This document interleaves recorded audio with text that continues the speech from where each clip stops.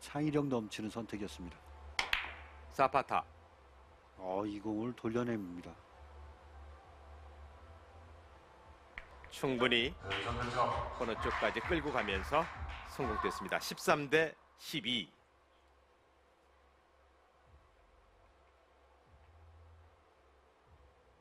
최대한 뭐 길게 뽑아낼 수 있는 최대치를 그대로 표현을 해줬죠.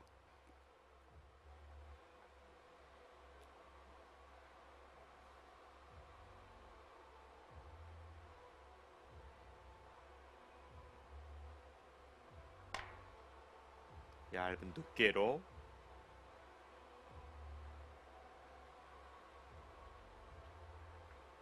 성공됐습니다. 14대 12.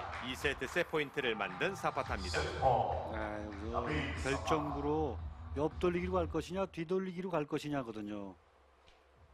참이 쓰리 쿠션 경기는 이 선택의 경기예요. 네. 그 선택도 확률 높은 이제 선택을 해야 되는 거죠. 네. 확률이 일단 첫 번째고 그리고 또 내가 원하는 길, 그 길을 또 찾아내야죠. 진행 방향 좋습니다. 득점 성공됐습니다. 뒤돌리기 득점으로 사파타 선수의 2세트 승리 15대 12로 사파타 선수가 2세트 승리를 가져갑니다.